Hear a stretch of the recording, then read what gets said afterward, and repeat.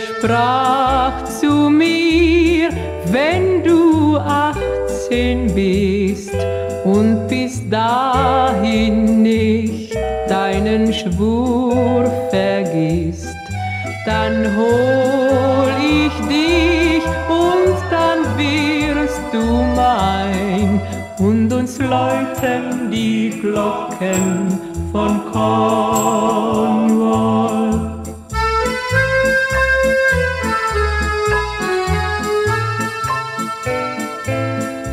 Ich hab gewartet drei Jahre lang und die Zeit war schwer und mein Herz war bang.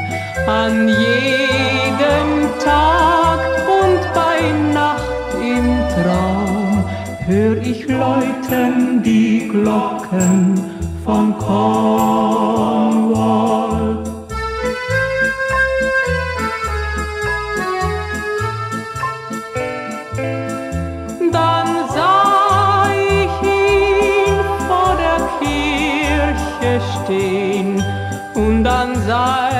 Seinem Arm eine andere gehen.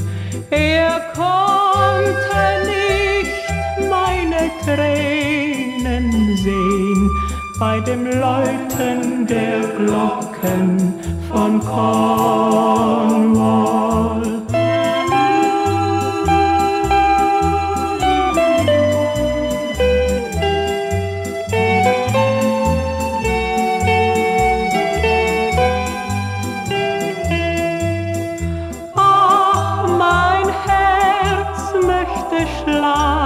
Schlafen gehen bei dem Läuten der Glocken von Cornwall.